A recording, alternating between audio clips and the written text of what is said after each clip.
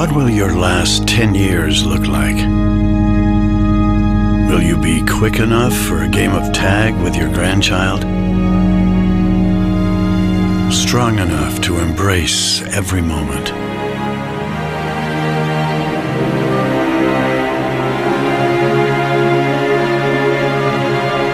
Will you grow old with vitality? Or get old with disease? The family is an integral part of life. No human on earth exists without coming from a family. Though there might be a separation, death, or sickness that tears the family apart, they are bound to come back together again in love and with a caring heart. Each member of the family is as important as the other and every family should love each other equally, but when sickness holds a member down, how devastating it feels. Diabetes When you have diabetes, it's important to know how to cope when you're unwell. Especially if you have to go into hospital. Being ill can upset your diabetes management so you need to know what to do to keep your blood glucose, sugar, levels as close to target as possible. You'll need to know how to manage insulin or other diabetes medications, blood or urine tests, and your diet. This is really important if you go into hospital. Always tell the healthcare professionals treating you that you have diabetes. The early signs and symptoms of type 2 diabetes can include 1. Frequent urination 2. Increased thirst 3. Always feeling hungry 4. Feeling very tired 5. Blurry vision 6. Slow healing of cuts and wounds 7. Tingling, numbness, or pain in the hands or feet 8. Patches of dark skin.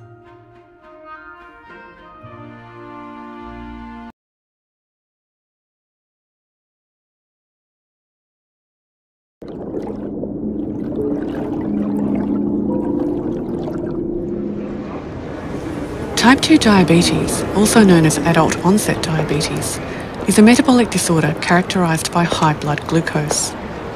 Obesity is thought to be the primary cause of type 2 diabetes in people who are genetically predisposed. Thus, overweight people have increased levels of glucose circulating in their blood. The pancreas is an organ which produces hormones that control blood glucose levels. The hormones that control blood glucose are produced by clusters of cells in the pancreas called islets. Here glucose is shown arriving at the islets via the bloodstream.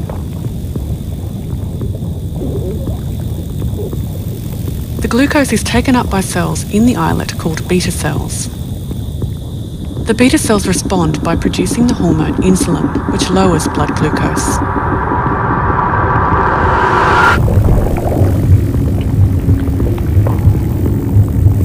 In type 2 diabetes, high levels of glucose stimulate the beta cells to produce lots of insulin to lower the blood glucose levels.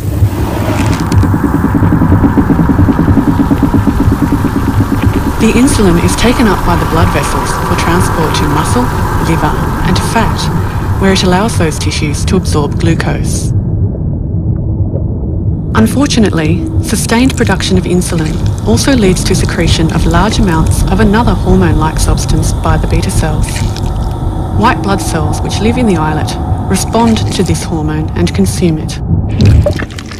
We are now inside an islet white blood cell at a magnification of 250,000 times. The hormone in combination with high glucose causes production of free radicals inside the white cell.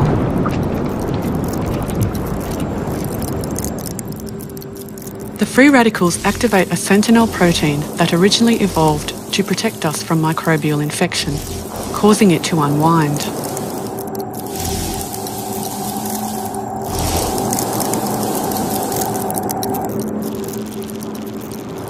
The newly active sentinel proteins then aggregate with six other proteins to form a ring.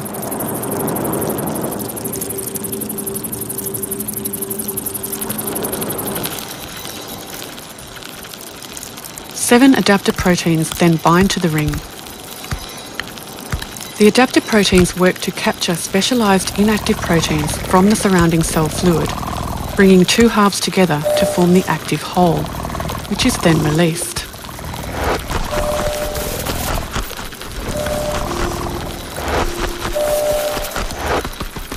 This entire structure is called the inflammasome, and its sole purpose is to act as a platform for combining and activating these proteins.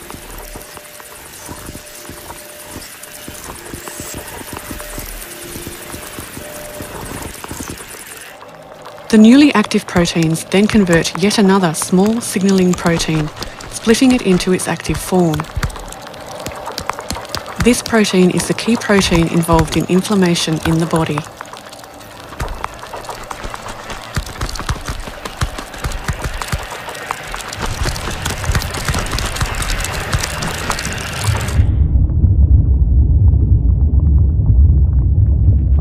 The inflammatory protein is then secreted from the white blood cells into the islet.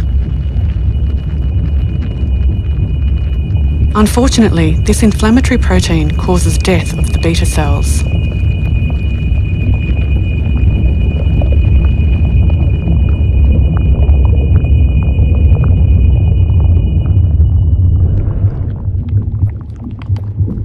Over time, beta cell death causes the islets to shrink, accelerating disease progression.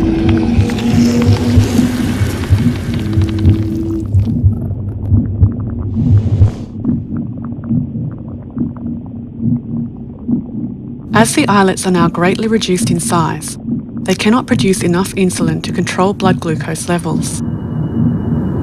Over time, high blood glucose causes damage to many different tissues throughout the body. What originally evolved as a defence mechanism against infection now seems to be a driving force for inflammation in type 2 diabetes. Chronic diseases associated with inflammation are the most common diseases of ageing in the Western world and represent our greatest health threats in the 21st century.